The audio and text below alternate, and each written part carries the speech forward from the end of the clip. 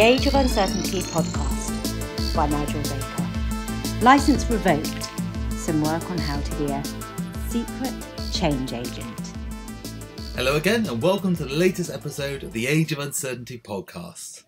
I'm just recording this just before I do a presentation to the Heart of England Scrum User Group.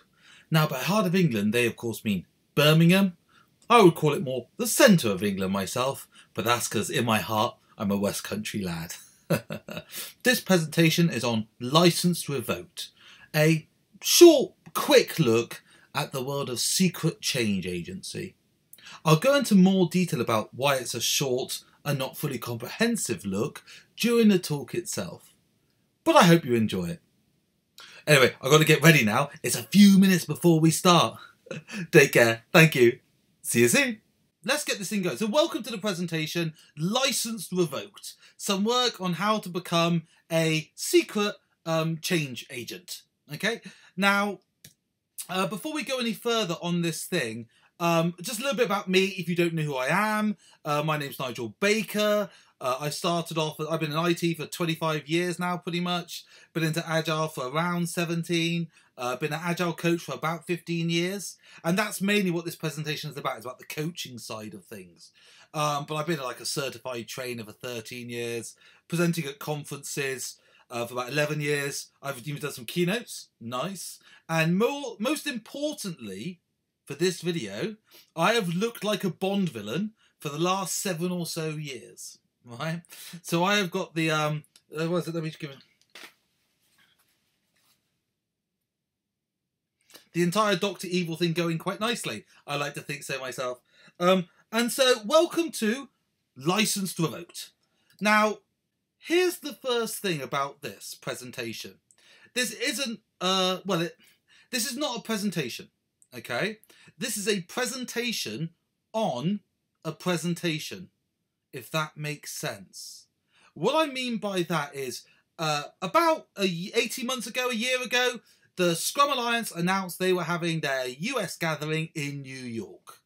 Now, I love New York. I've been once in my life I had a great time there, and I thought it's going to be fantastic to go to New York. Myself, uh, Jeff Watts, who's on this call, uh, Paul Gullard, a few of us got together and said, "We'll all get together. We'll have a great time. You know, we'll we'll we'll we'll we'll, see the sights of New York. We'll go to some piano bars.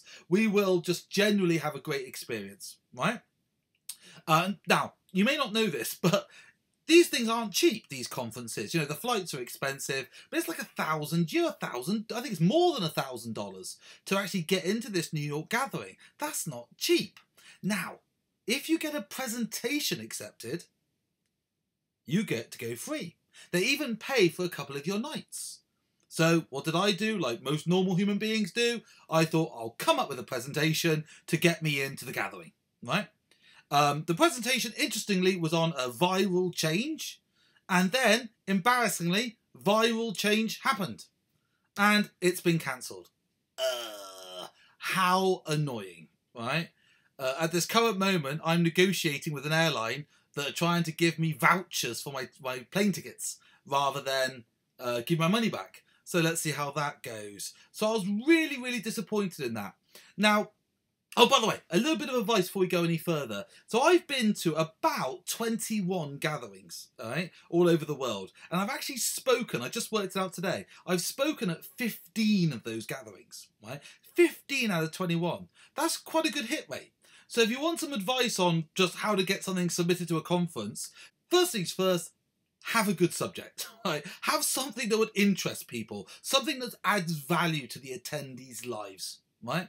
Number two is have some sort of hook, right? Because it could be valuable to the attendees, but they may not know it yet. So you need some sort of hook to sort of lure those attendees in. So when I was developing up my presentation, the original thought I had was Englishman in New York. You know, the song by Sting by the police. Englishman in New York. It doesn't go like that, but something like that.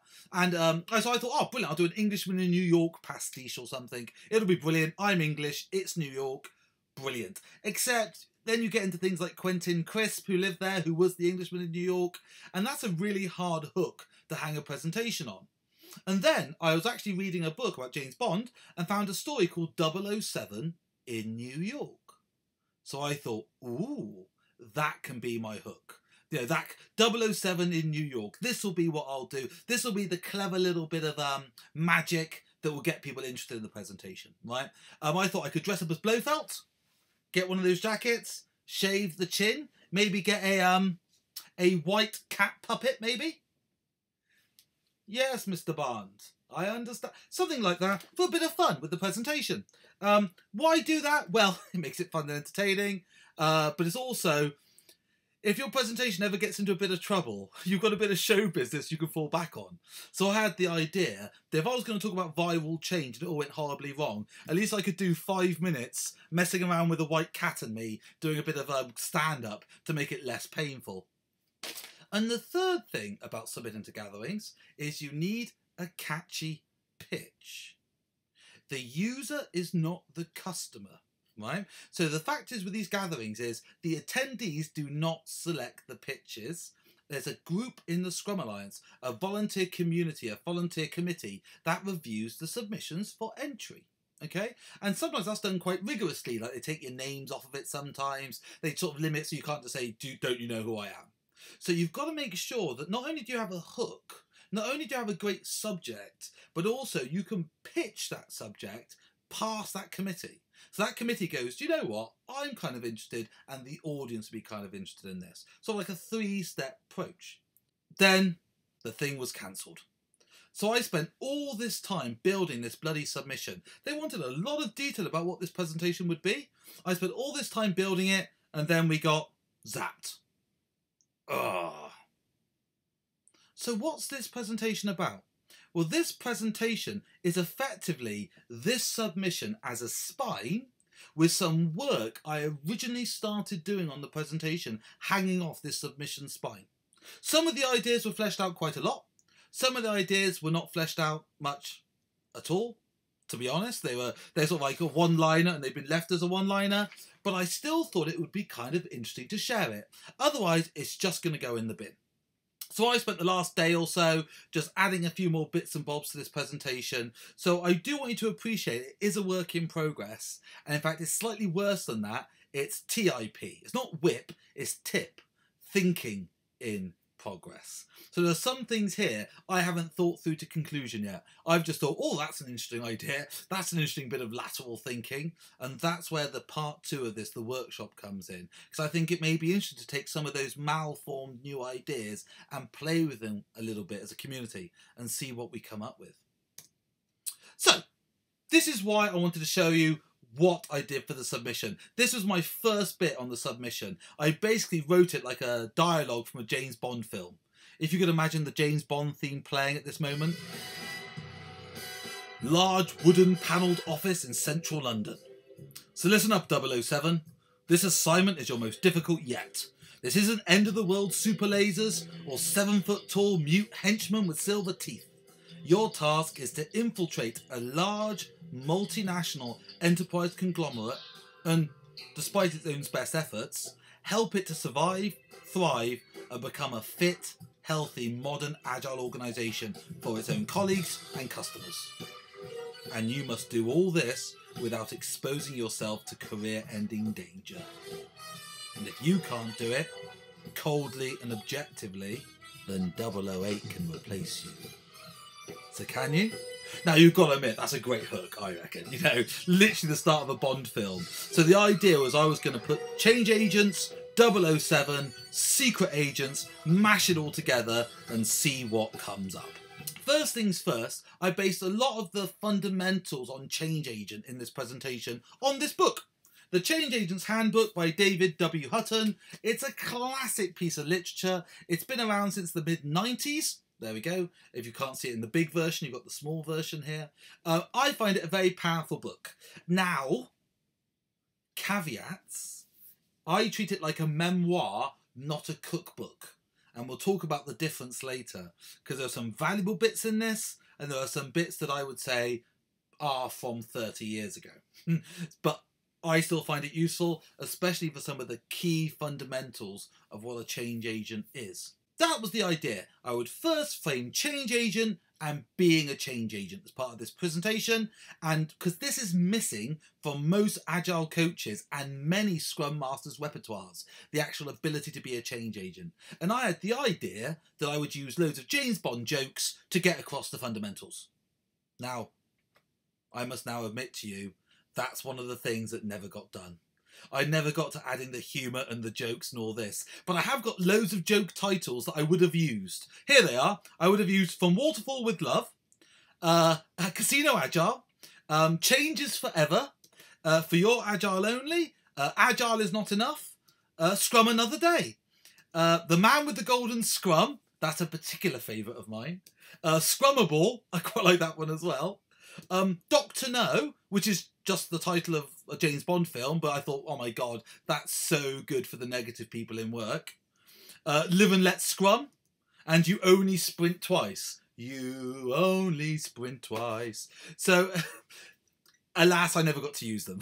we never got that far with it. But if you can imagine those bad puns spread throughout this presentation, you'd have done some good for the world of Agile. So where are we going next? Right, yeah, okay. This is Hutton's view of a change agent. So I, I, took some work out of his book here. He had sort of three main areas that he said a change agent tries to do in work. Change the way they think, I uh, people think. Change their mindset. Try and change the norms. That's how we do things around here.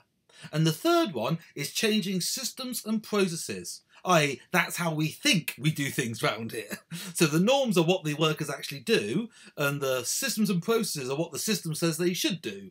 Uh, planning, budgets, IT, supply chain, all those bits and bobs. So the idea in his mind of a change agent is someone who works in those three areas. And as you've probably spotted in your jobs, we see lots of Scrum Masters and frankly lots of Agile coaches who only fall into that green box.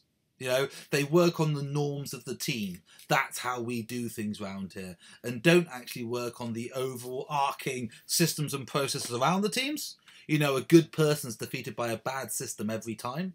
And often they don't work on the internals. Now, some of you on this call will know I have a huge bugbear about agile coaches who aren't agile and don't coach. Uh, so coaching for me is all about mindset improvement, helping people, not changing the way people think, helping people understand there are different ways of thinking and changing their own way of thinking. That for me is coaching. Uh, organizational change is another thing. And I'm afraid to say that green little circle seems to be where a lot of people in our industry are at the moment.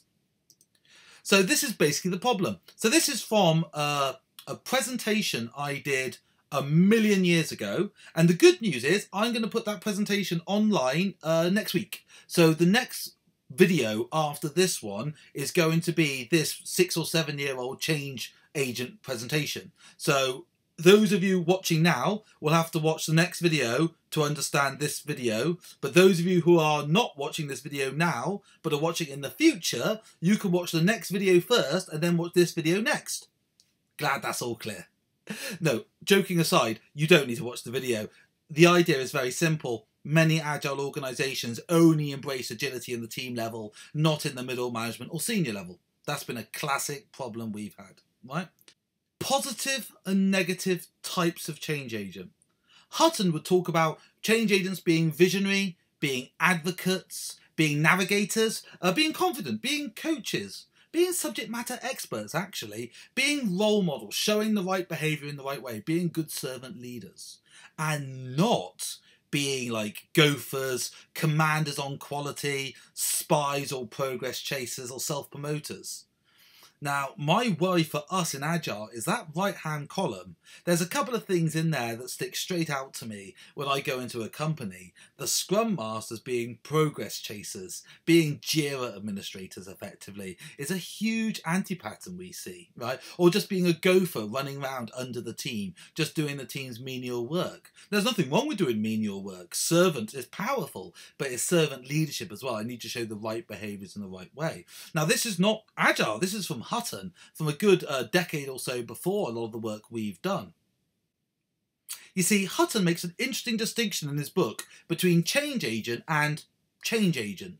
He talks about change agent, capital C, capital A, being people who are officially recognized by the company. It's a job title, it's a role, it's a it's something they're hired to do or put in that role by senior leadership. Right? He uses change agent with a small c and a small a to mean people who have stepped into the role, people who have discovered it for themselves, people who want to be involved in this stuff, volunteers rather than people who have it as their day to day job. Well, why should we be interested with the difference? Well, this is what Hutton was saying. He said change agency is about coaching up, not coaching or just coaching down. So it's not just going to workers on the production line to improve their quality. It's about doing educational activities with senior management, uh, assessments of statuses. Be careful of some of these, by the way, and I'll tell you why in a second. Uh, plans, mm, uh, organising schedules for seniors to have time to actually work on this. That you don't just want their permission, you need their direct involvement and act, uh, play an active part in discussions, such as important things like should we allow smoking in the office? Hang on. Smoking in the bloody office? When was the last time you had smoking in the bloody off? This is the issue with this book, by the way. Some of the things are incredibly relevant for today. Some of it is a little bit out of date. You know, smoking in the office is a metaphor. I've never seen that. And I've been in this industry 25 years. You know, developing. So I think this book breaks into sort of three areas sort of what's a change agent, how do you go about implementing change, and how do you go about implementing quality? Because actually, they're talking all about quality improvements in this book. So the quality side of thing is semi, uh, well, should be very uh, uh, crucial to us, but it's semi crucial in terms of content. But how they actually plan a lot of stuff in this book is still quite traditional quite uh, waterfally in its way in terms of developing a plan and one person owning a plan. So we're not going to go to that space. But again, it's a bit like a memoir. If you read it like a memoir, you can take out the bits that are useful to you and the bits that aren't. If you treat it like a recipe book that you follow slavishly, I'm sure you would have been a great change agent in the 1990s, but we're 20, 30 years later than that now. And so the idea of a change agent, though a good one, is managing up, acting as an advisor to senior bosses, challenging their preconceptions, challenging their mindset. It's not supposed to be an acquiescent role just uh, advising down, it's about working up. That's why when I talk about change, I often talk about it needs to be led by leadership. You need to have, I call them enterprise transition councils or committees, but there's a range of names for a group like that. But basically, senior leadership working together with a cross functional group across the organizational slice so it's not just senior leaders on their own. That would be quite um, uh, theoretical. So senior leaders and across functional groups, people from all over the organisation, working as a leadership change team to help change happen. Yay! Now I want to reframe that conversation from a change agent point of view to more of a secret agent point of view. Why? Well, look back at this again. Change agent versus change agent. Okay, have a look at this. Change agent versus change agent. So historically, I've done this sort of thing in organizations. So we've had like a leadership team with a cross-functional group working together with some sort of independent coaching team advising the organization. And the reason why they're kept outside organizational line structure is if you have them in the line structure, they get squashed and squeezed and politicked out of existence. The amount of coaching teams I've seen where they've annoyed some some senior boss who's just turned the tap on their money and got them all released quite quickly has been more often than I would care to admit. So I always like seeing a coaching team outside, you know, separate from the line of command, you know, separate, be able to be independent in what they say, with this transition committee leading the change, probably with some group of volunteer change army the Scrum Masters, these volunteer change effort changing organizations. Dun dun dun dun dun! Narnia the, the, the, the ideal, the future. Bugger. See, in Hutton's book, he says sometimes it's really, really difficult to get change going when some other major forced change is in progress. So can any of you can any of you just off the top of your minds now just imagine perhaps something that could be happening in your work at the moment some major fundamental change to society that is changing everything at the moment and blowing everyone's minds i, I, I really can't imagine anything at all who would know um, you always heard that ancient chinese proverb may you live in interesting times well, by the way, it's not Chinese. I was looking it up today. It looks like um, Neville Chamberlain's dad probably made it up. May you live in interesting times, but bloody hell, are we living in interesting times? I've got loads of friends at the moment who have lost their roles. They've lost their jobs. Agile coaches, senior agile people helping companies, they've been fired basically, or furloughed if they're lucky. But a lot of them were contractors and they've just been cut because the company's got big, scary things on its mind in terms of COVID and stuff, and it's trying to survive, and they don't want to think about that agile thing at the moment. But here's the opportunity. Now could be the perfect time to think about this stuff because we're in trouble, we're having to make changes quickly, we're having to be desperately focused on the highest value. This is where what we do for a living should really come to the fore and yet companies are using this moment to cut that stuff like it's nice to have. And that means we're ending up with this transformations in the bin and a very thin layer of scrum masters surviving and everyone else being culled, senior leadership saying, I can't got time for that. We're trying to deal with the COVID crisis. Hmm. The change agents, capital C, capital A, have gone that means those of us who are left behind are going to have to do something with this the secret change agents. So, what's happened between me submitting that presentation to New York and actually working on that presentation has been, oh my god, a huge amount of relevancy. you know, when before I always used to get asked about, well, they used to call it viral change, and I promise I'm not going to use that term anymore. But viral change in organisations was normally because the organisation wasn't quite moving fast enough for the coaches. And now, for me, this type of secret organisational change is crucial. Okay, so here we go. So we in the spine, I said, look, we're going to have to bring out things like empowerment, how we take and create empowerment, and inside large organizations, you know, as a secret agent, how do you influence? And we're going to have to understand goodwill and spend it wisely. So one of these techniques I've been using for years. Um, you may have heard it before, Nigel's Karma model. Uh, I stole this from Tony Blair. Uh, Tony Blair, I was reading his autobiography, and he mentioned how prime ministers, when they get uh, elected, often have a load of goodwill or good karma with the electorate, with the press, with their own parties. They are winners. And he says many prime ministers waste that karma or that goodwill frivolously. Okay, spend it on silly things, and they end up with very little goodwill and when something difficult needs to happen, they haven't got that that influence, that goodwill to make that difficult thing happen. A great example was Theresa May a couple of years ago. She had some goodwill, she had the election, only scraped through a little bit, and then for the rest of her time as leader, she bounced along the bottom, desperately trying to survive. Yeah. Look at it now. Boris has got loads of goodwill, right? Not just from being ill and stuff, but I mean from his actual election win. So he, he needs to spend that goodwill wisely. Tony Blair built up goodwill for nearly a decade and then spent it very frivolously in the Iraq War. So, as leaders, as influencers, you've got to be very aware of the amount of good karma you have with your wider world, cultivate it, and spend it appropriately. As a secret change agent, you probably start off with very little goodwill not like a, a, a, external consultant who's come in who's written a book or something. You've got very little goodwill. You've got to build that goodwill up before you start spending that goodwill. But how build up through success through influence and then spend it wisely.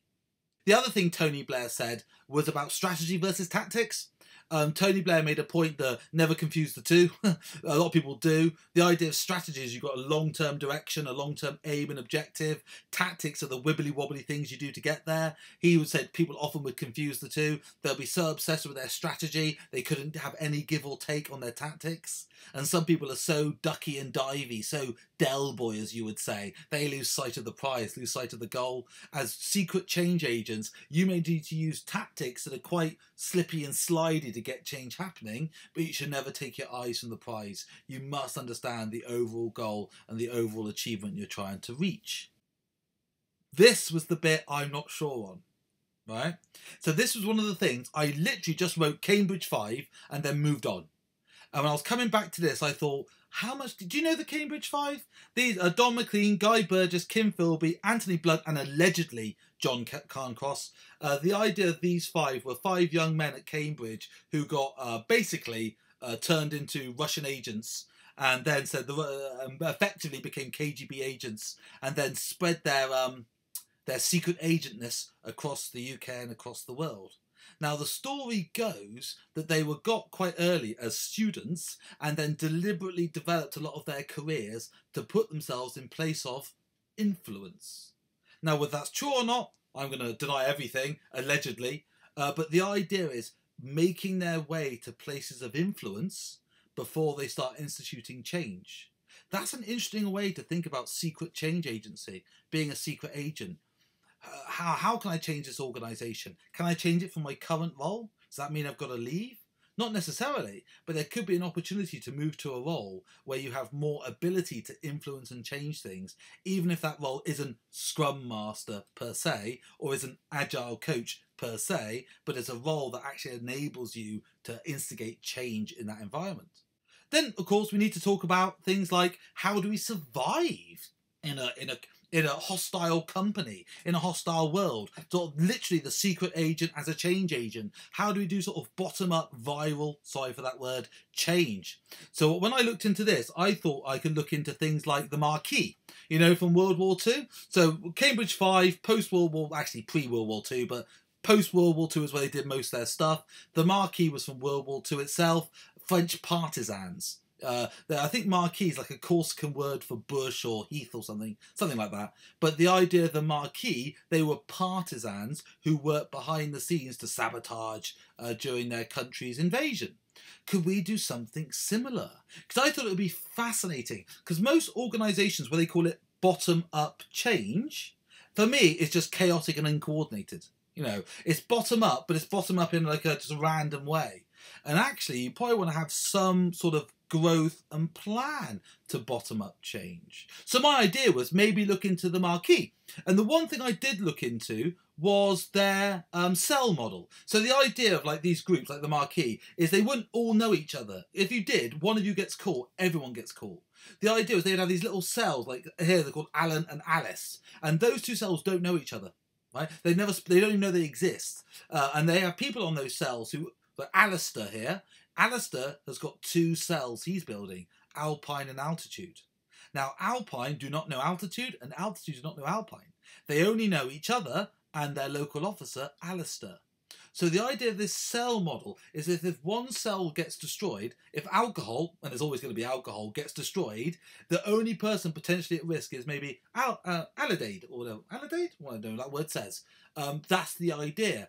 Could we do something similar with that? That was my idea. I never got further than an idea with it. But my idea was, could we do something on that, that type of model with viral change? I, we deliberately build teams that are very self-supporting, but are very independent and don't require lots cross-funding or cross-communication with other independent change teams. The idea of having these things run semi-independently internally, but working together, but not potentially being turned off all at the same time. So if someone stopped the funding, let's say, these groups could carry on autonomously without a need for that funding.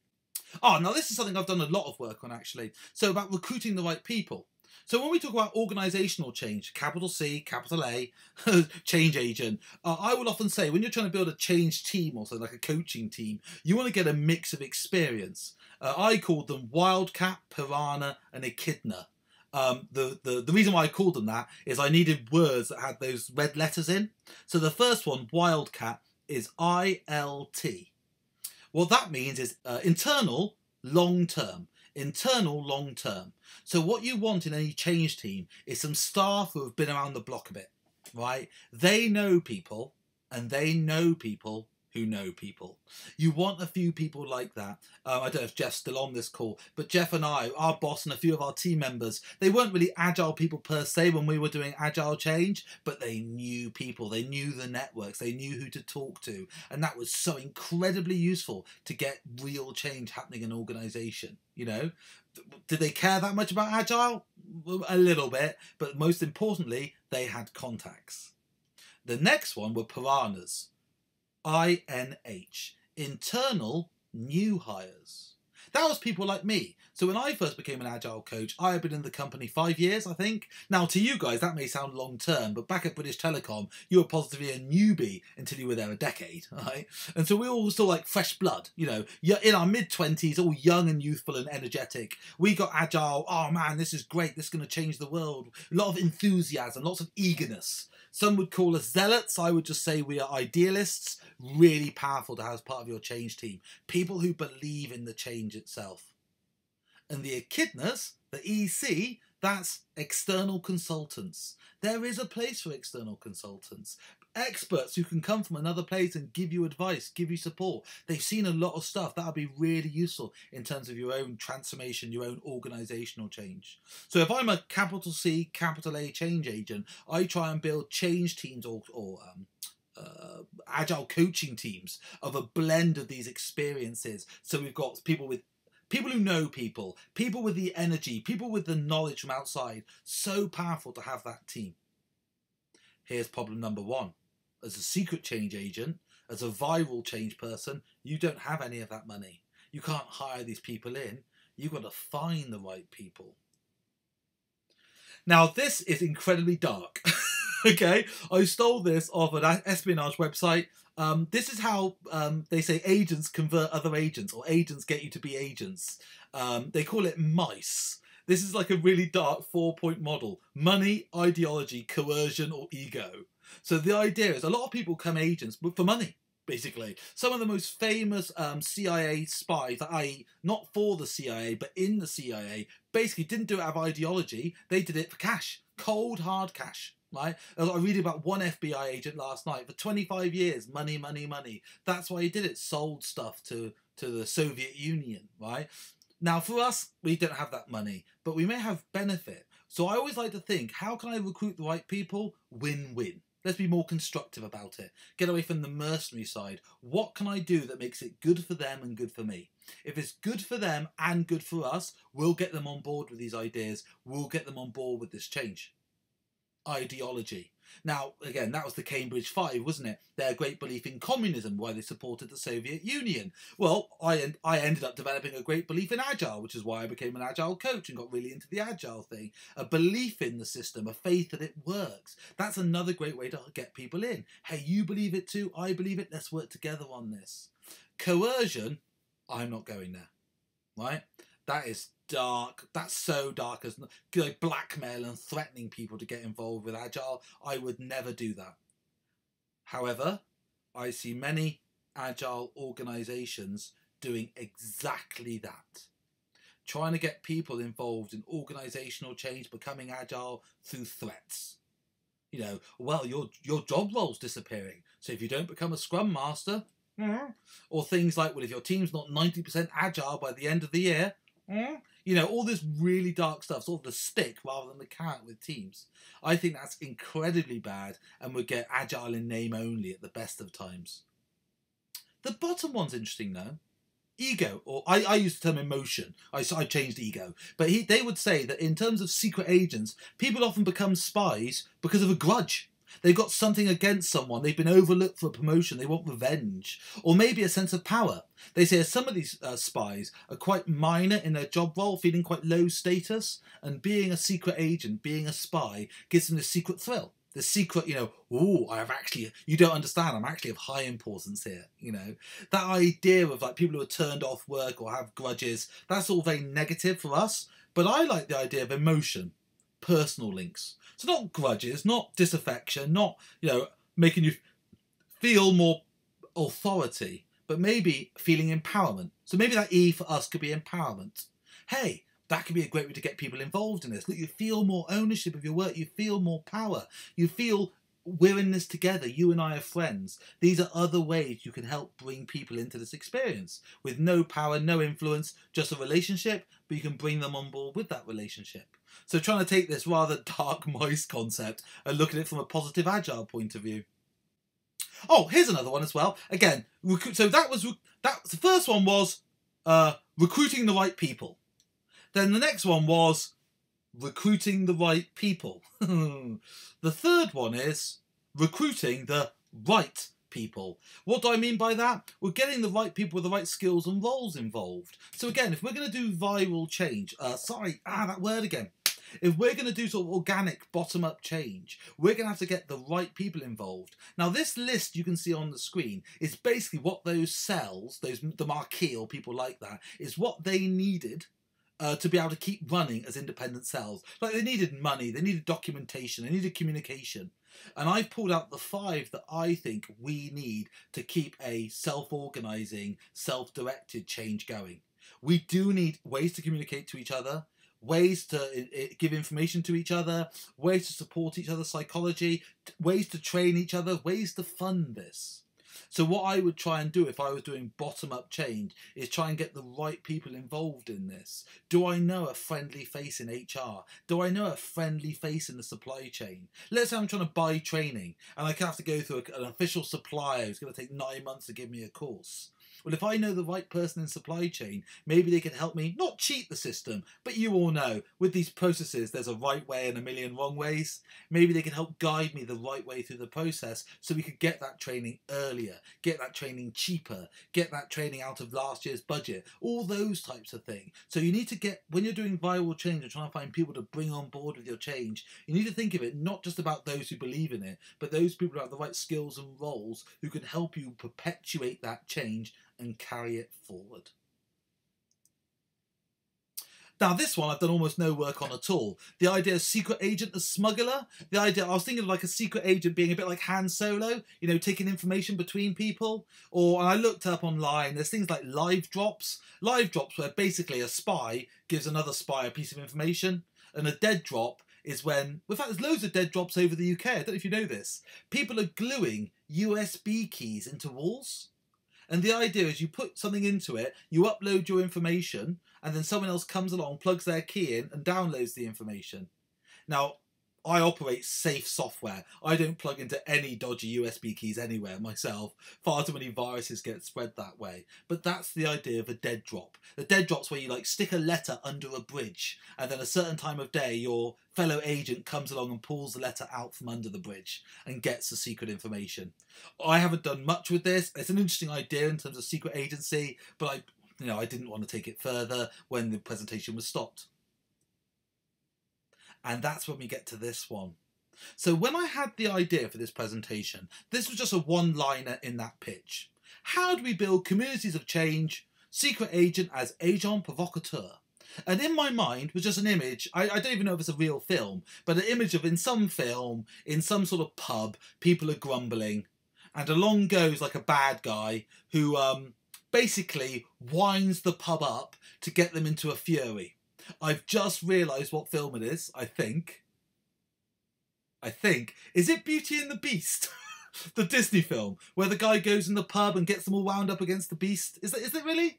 It, I, if it isn't, I don't know. But I was imagining a film like that, where the like the agent comes in and goes, "Ah, what about that evil beast who lives in the castle?" Everyone's like, "Ah, he's all right." No, he's not all right. He's a monster. He's got Belle. He's got Belle. Ah that was my mental model for this bit. I thought we could do something interesting on agents, you know, stimulating change. And so just yesterday, I thought, I'll fill it out a little bit. Sounds interesting.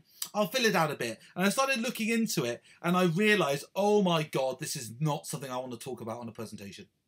Not in a million bloody years do I want to talk about this on a video right? Uh, you can only imagine the sort of things that came up when I started searching for agents. By the way, do you know what this picture's from? Terminator 2. It's Terminator 2. So what are these? What are they? Well, don't say Terminators, by the way. That's obvious. But what are they? What are they actually? Infiltration units. Yeah. Bots. So we could go a whole load of interesting dark places with this. Have you seen on? uh, So I'm going to mention something I think's mostly safe. COVID is caused by 5G transmitters. Now, hopefully, you know that to be so ridiculously insane that it's hilariously funny and not dark or weird in any way, just hilarious, right? But there are, I, on Twitter at this moment, right, there'll be some famous scientist giving a really good explanation about why, how viruses are not caused by radio waves. And you'll have some person in the comments will say something a bit snarky saying, well, look at this picture, look at the spread of COVID compared to 5G. Or something mad like that, right? And then like a thousand people will dogpile, right? They'll all jump on and say, You're an idiot. How could you think 5G is being spread by COVID? I mean, COVID's being spread by 5G. No, damn it, that's the rumour I'm going to start. 5G mobile phones are being spread by viruses. The, the, the, the viruses are growing, the 5G. Don't do that. All I will say is look at how much effort that troll, that bot, put into its post. 10 seconds of effort. Look how many thousands of posts replied to it. It's a very asymmetric reaction. Something small gets a big reaction out of the, the internet community. Trolling par excellence. So a lot of examples I looked into were effectively trolling to a greater or lesser extent. Um, some of them are very. I'm not going to go there. I really don't want to go there. Suffice to say, starting a fire can be quite easy. When the bush starts raging, you know, a small ignition gets a big fire going. What was I trying to communicate here? Well, for God's sake, I was trying to stay out of politics and out of legal and out of sexism and racism and nationalism and all the other isms that are on the internet. What the point I was trying to make is there will be some actions that are very asymmetric as a, a secret change agent. You can do something small and get a big effect out of it. That's where you should be focusing your actions as a change agent internally, as a secret agent. You haven't got a lot of goodwill, you haven't got, a lot of money, you haven't got a lot of time. You've got to really look for those asymmetric reactions, look for those exponential curves in small thing for big impact, and see what you can do to make that actually happen. Oh, yeah, this is another one I didn't spend much time on. Change agent as network leader. The idea behind this one was if you start building up enough cells, you could start formalizing the change. so at this point, Station Berry has got like eight or nine people working, keeping all of its potential recruits up. We've effectively built a coaching team now. It may not have been officially funded, it may not have been officially set up, but now we have an official coaching team. So, sort of moving from a bottom up, a sly sneaker agent approach till eventually you can reveal yourselves on the internet or reveal yourselves in work. Da da! Look, we've been building up this thing behind the scenes for a long time, and now we're ready to go with some good funding. Or maybe this. Now, this was something I loved. You may have seen this. This is it came out a few months ago. This is the CIA released an official document. It's been um uh, what's the word? Made unconfidential, whatever that is. Uh, released, uh, publicly released from archives. A document, uh, a document on simple sabotage. Because they were talking about how you know um, sabotage often is looked upon as being highly technical, very complex, requires detailed planning, specially trained operatives. But sabotage could sabotage. It came from wasn't it the Dutch workers through their, their wooden shoes, their sabots into the machine. You know, could be something very a very simple act could can cause great destruction as a saboteur. So what they did was put together a little leaflet on simple things normal people could do to sabotage like an invasion. So the country's been invaded. What could you do to fight back in your own small way? I've only I've skimmed the document. It's hilarious. It's brilliant, right? You must read it. You must go to the link when I share the slides and have a look at it. It's great. The top five things got pulled out on the CIA website, and I love these top five things. They said, "What should managers and supervisors do to hold back the enemy?" Well, they should try and lower production and lower morale to get less things out the factories. So the best way of doing this is being pleasant to inefficient people and giving them promotions and discriminate against the efficient people and complain unjustly about their work. Employees should find ways to work slowly. Use a light hammer rather than a heavy hammer. Use a small wrench rather than a large wrench. Try and be slow. Try and increase the amount of effort it requires to get anything done. As an organisation, when possible, send everything to committee. Everything's going to be discussed in a meeting, including meetings. Get it involved in meetings. Make those committees as large as you can, as bureaucratic as you can, and more conferences when things get more dangerous. With the telephone, route people the wrong direction, make it hard to communicate, hard to connect people together. And finally, with transport, do things like double book people on trains and on flights. Make transport particularly hard to achieve so people can't get around. Hang on a minute. The CIA is recommending this as ways of sabotaging an invasion. Those five things I see in most large companies every day of my life. Don't you? It's exactly that's just describing large company work. You know, people just people abusing the wrong people, employees doing things inefficiently, having too many meetings on meetings, communication being so difficult, bloody Jira, transport being difficult. I can't even book your own flights. So my joke is we're already sabotaging ourselves anyway. So why do this? Well, my idea with this one, could, could we do a De Bono trick and sort of reverse think these? So, you know, the Edward de Bono idea of lateral thinking? Can we perhaps take these five things and reverse them and see what opportunities arise then? So rather than say, okay, how as manager and supervisors do we make sure we do not discriminate against efficient workers? How do we make sure um, that we work in an effective way? How do we make sure we have as few meetings as possible, not as many meetings as possible? How do we make sure our communication actually helps communication? The greatest thing about this lockdown is Zoom, right? Zoom is nothing special, and that's what makes it special. It works. I can talk to you, you can talk to me. It works. I used to work for a telephone company for a decade. Most telecommunications barely work there. For most of the time we were there.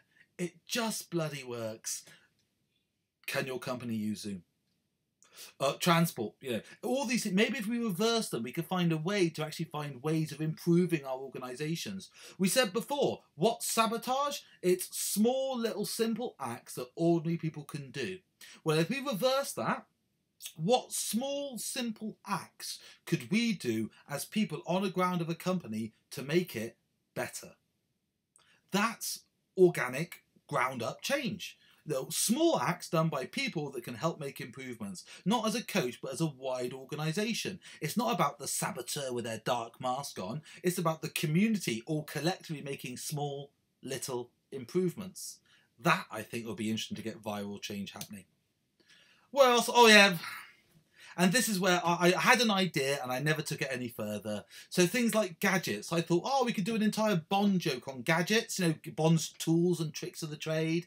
And then I didn't think any more on that. If I had had more time, if I if the if the conference was going ahead, I would have sort of deep dive the concept, the lateral thinking concept of tools or gadgets. Uh, the only thing I can think about this one is if you look in the background, you can see um, this this tool here. This is like a robotic sort of fake dog from Moonraker. Um, I think it's one of the worst gadgets ever to appear in a Bond film. Um, completely useless, over-engineered, pointless, gets in the way of the story, gets in the way of what we're trying to achieve, aka Jira. There we go, there's Jira. Everyone likes when I make a Jira joke. There is Jira given James Bond form. There we go. Over-engineered, too many features, gets in the way of a good story. Anyway, that's what I thought about gadgets. And the other thing I didn't put enough thought into was henchmen. So I had the idea about maybe we could do some, you know, Bond henchman, the villain, like you know, not the big boss, but you know, the, the right the right hand man or the right hand woman.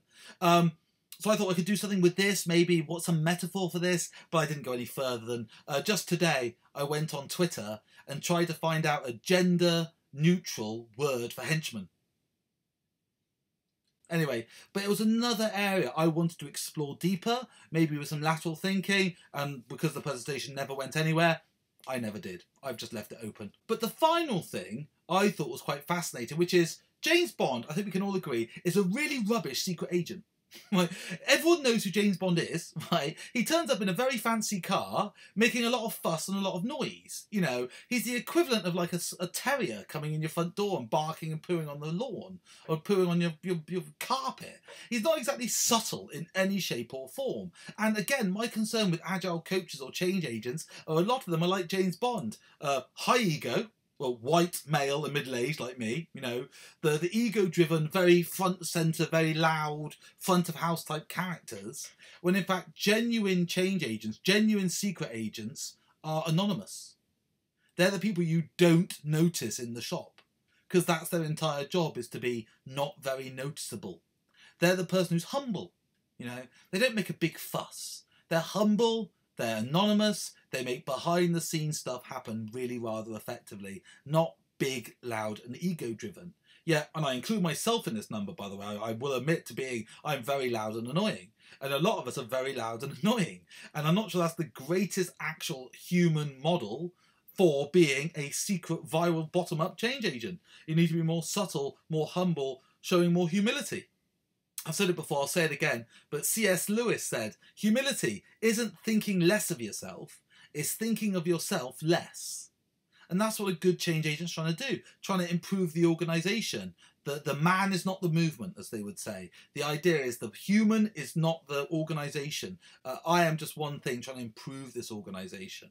And that's why, for me, there's a risk that we think of ourselves like James Bond, but actually, we're a bit more like the villains. Two final things. This is from a slide I was given 15 years ago in BT. Um, I don't even know who John Brewer is. I tried to find out who he was today. He's been on the agile scene for a long time, but I couldn't find much information on him. He said villains in James Bond films never do the simplest thing that could possibly work. They always horribly over engineer. Austin Powers even made a joke out of it, didn't they? With why don't you just shoot him, you know? Um, so my concern with what we do is if we are a bit of those big brains with the big plans, being a bit more Blofeld than Bond, my concern is that could be reflected in how we approach change. And again, in many large organizations, I've seen change agents with some weird and wonderful, intricate approaches, right? And the trouble with those weird and wonderful, intricate approaches was I don't know if they were having much success with them. They looked good, they sounded good, the slideware was good, but they weren't just helping improve people's lives. And that's really what being a change agent is all about helping improve people's lives in work to improve the work. What's the simplest thing we could actually do? Now, I know Bond's a bit of a sociopath, to be honest, but he never seems to over engineer, does he? he always does the simplest thing that could possibly work, James Bond does, whether you like him or hate him as a character. And that's my main concern. Are we the villains? Could we sometimes be the baddie in the conversation? Be the the very clever egomaniac with the massive plan that should work? Should being the operative term. You know, I don't know. I really don't know. But I'm just concerned about that in terms of how change agents seem to bounce out of organisations and how what we could do to work more effectively, a bit more under the surface rather than loud and proud and dangerous.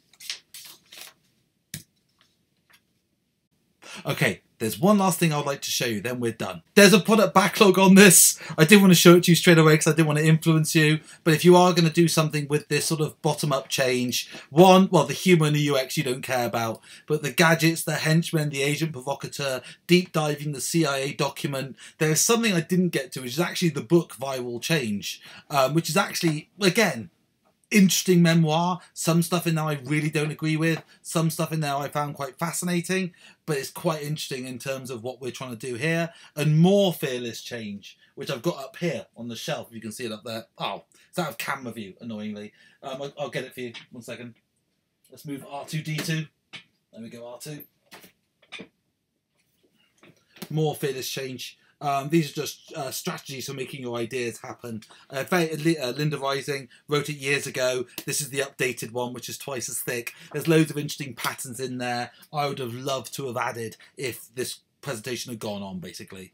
Um, or even John le Carre stuff. John le Carre would have been fascinating. You know, the, uh, the the spy who came in from the cold, Tinker, Tailor, Soldier, Spy. I think that would have been an interesting area of investigating further. But alas, no.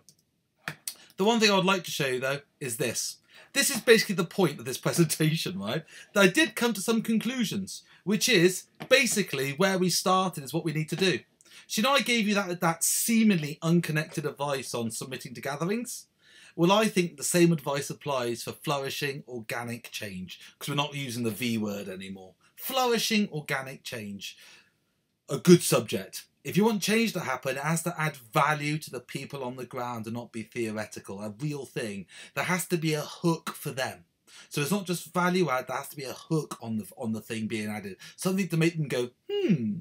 And there has to be a pitch. Because you have to be able to pitch it uh, not just necessarily to the workers themselves, but to the associated bosses, people around them, the committees that involve them. So, a good subject, good hook, good pitch. Those are the three things I would basically try and make sure every single small, organic, flourishing change I was trying to make would fit into that model. So, there was a point of talking about the uh, advice at the start, after all. Well, that's that one done. You notice I've turned the lights back up? I haven't really. This I actually filmed before I did the presentation. Anyway, could you please share, as always, on all forms of media you can imagine likes, retweets, shares on LinkedIn, anything like that at all, any medium, anything to help get this message out to further audiences? I would like that, and I think they would too. Thank you anyway, I hope you enjoyed it. It's been hellish fun putting this thing together, and I'll see you again soon. Take care and goodbye. Next episode Optimus Prime, Change Agent.